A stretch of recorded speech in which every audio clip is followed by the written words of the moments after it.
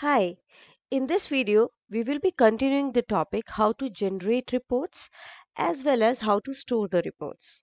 So guys, so guys, good thing about QC ALM is that it is monitoring and tracking everything you do.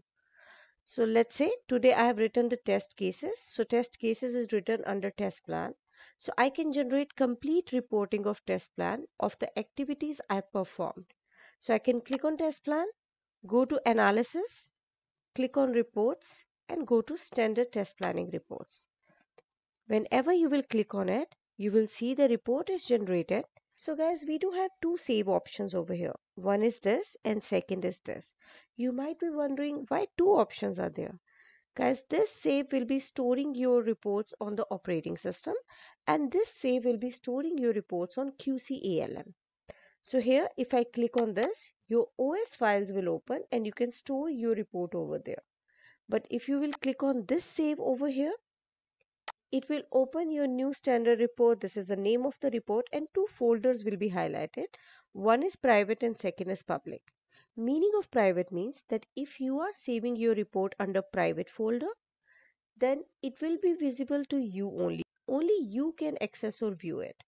But if you will save this report under public, then all the users of QCALM can view it. These two folders are there to understand the visibility access. Private, only you can access it. Public, all the users of QCALM can access it. So let's say I want to keep it private. I will choose private and click on save.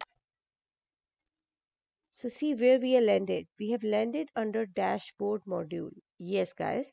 So dashboard module is a module where your reports are being stored. So all the reports which we have generated will be stored under dashboard. Dashboard has two columns public and private. If you want to keep it private then it will be stored under private.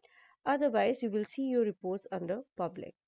Private is just for you, public is for all the users. So guys, reporting is something which is very much regular process for us as a tester. But if you don't have quality center ALM, it's going to be difficult because you have to manually prepare the report. Whereas QCALM is monitoring, tracking all your activities and at the end you have to just click on the analysis tab which is there on all the modules. So if you go to test lab, you will see analysis.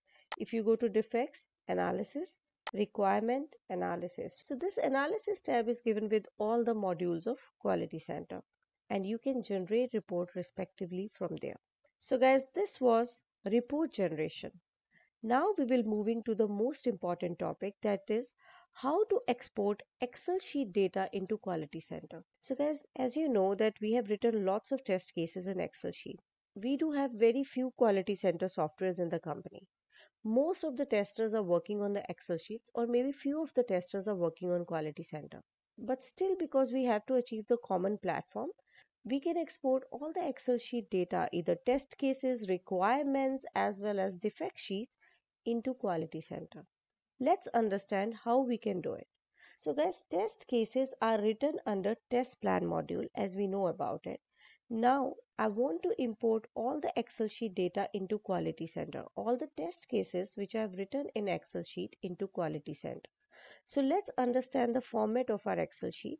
So what I'm going to do is I'll prepare this Excel sheet according to the columns of Quality Center. So here my first column is date and if I have to map it with Quality Center, creation date of Quality Center is same as date column of your Excel sheet. So here I will be changing the name of date to creation date. Although guys this is not requirement of quality center that you should change column name of Excel sheet. But I'm just doing for your convenience so that you can understand which column is mapping with which column of quality center. Although quality center will be just reading the column names here A, B, C not the name of the columns. So whatever name you are keeping over there doesn't matter. So here Column number B is author name. If you go to your quality center, author name is actually designer over here. But this field designer is auto populated. So we need not to pass it from the Excel sheet because it is auto populated with the ID with which you have logged in in your quality center. So that name will appear over here. Right now my username is Roshan. So it is automatically appearing here. I need not to have this column over here. So I need not to pass any values externally because it is auto populated. So I'm going to delete this column. Next is my module name. So guys, if you cross check over here, module names are always written under subject folder. So if you want to write down all the modules under subject, you create this folder and write down the module name as we discussed in our previous videos. So module name will always appear under subject folder. So here instead of module name, I'm just going to change it to subject.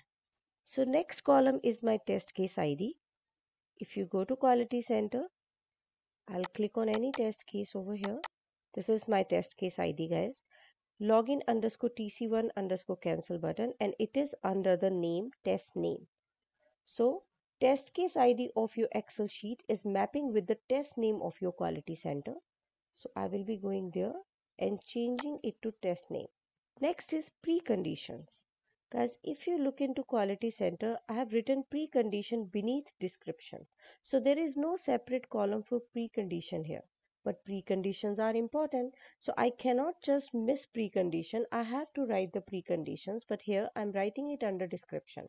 But if you look at my Excel sheet, precondition is a separate column and description is separate column. What I'm going to do is I'm going to combine these two columns in one. So I'm going to copy precondition under description so that it should appear the same ways like I did it in my quality center. So I will be copying it. Go to description. Here we will give space, write down precondition and we will paste the precondition over here. So here you can see description and precondition are together. This is my description and this is precondition. You will be writing it in all the columns because precondition and description are merged together. So here also we can do the same thing. And for my third test case also I'm doing the same thing. So all my three test cases have description and precondition together. I can remove this precondition column. Next is step number. So let's see where the step numbers are written in my quality center. So we'll go there, click on design steps and if you see, step number is written under the column step name. So we will name it as step name instead of step number. Next is steps description. So in my Excel sheet, step description is written under steps. We will go ahead and check it over quality center. So it is written under description. But guys, we will be having two columns as description. Look at this. This is also description. If I'll write name of the column as description, then there will be a redundancy. It will be a same column. So what we will be doing, we will be writing name of the module here. So if you see, name of the module, which is design steps and then description, just for our understanding. Again, I'm repeating guys, this is not a condition from Quality Center ALM that your name of column should be exactly same as Quality Center. But this we are doing just for our understanding. So here I will be writing design steps description. Last is expected result. So expected result in Excel sheet is same as expected result in Quality Center. So this is same, you need not to change anything. Now let's see how to export your test cases in Quality Center. You will be going to add-ins. If you see here, we have option export to Quality Center. Now we will be selecting all rows which we want to export in Quality Center. So we will be selecting it from here. Selection should be started from the rows. You should not select the column headings. So start selecting from this first cell and select the data which you want to export. I don't want to export actual results, status or comments, so I'm not selecting it. I will be selecting only the data which I want to export. After that, you will be clicking on export to quality center. Check URL of your quality center. Click on next. Here you will enter your credentials. Click on next. Check your domain and project name. Click on next. These are the three things which you can export. One, requirements. So complete SRS document can be exported. Test cases and defect sheet. So right now we are exporting test cases. So I'm choosing test. Click on next. Now guys, this is two option. Select a map, type a new map name. When you are first time using it, you can go ahead and click on type a map name. I will be letting you know in the next step what is the meaning of map name. So I'll choose this, give any map name, give any name to this. So let's say login 1.0. We'll click on next. So now look at this guys. You will get all the columns of quality center over here from test plan and here the mapping status will be stored. So quality center and Excel sheet. So first column in my Excel sheet is creation date and I will be choosing it from here. So this is QC ALM's column. We will select it and we will be sending it to this side. This is very important guys. Map the quality center field creation date to Microsoft Excel column. So that means write down the column name of Excel sheet with which you want to map this creation date of your quality center. So here the column name is A. That's why I was telling you changing name of the column doesn't matter because quality center is not reading heading of the column whereas it is reading name here A, B, C. So here you will be passing column number that is A and click on OK. Now guys these settings which I'm going to do here I will be mapping quality center columns with the Excel sheet columns. This will be stored under the map name which I've just given in my previous step. So map name login 1.0 these settings will be stored under that map name. Next time when you want to open this and export anything you need not to do these settings because it is already saved under that map name. And next time you will be just selecting it. If I'll show you here. Next time you have to just select that map name and you will see the settings automatically. So here creation date is mapped with A. Next is subject so if you select here subject will be mapped with column B next is test name so we will be selecting test name. Test name is mapped with C. Next is description. So description column of QC will be mapped with D column of Excel sheet. Step name. So step name of quality center will be mapped with E column of your Excel sheet. Next is design step description. So description with this design steps, it will be mapped with F column of your Excel sheet.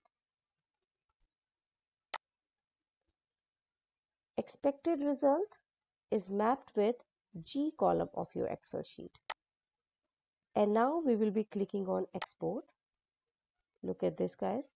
You have successfully exported the Microsoft Excel worksheet to Quality Center. Let's check that. So we'll go to our Quality Center. There is nothing over here. You will not see anything over here. So go ahead and refresh it and look at this. We got login module here. If you expand this login module, all three test cases are exported. If you click on any of the test case, see these are the steps. If you go to details, everything is auto populated creation date name of the test case description precondition everything is exported accordingly. But you can style it accordingly. So guys this is how you can export your excel sheet data into quality center. So if you have done anything in excel sheets and you just switch to quality center you can easily accommodate all the changes, all the Excel sheet data into Quality Center.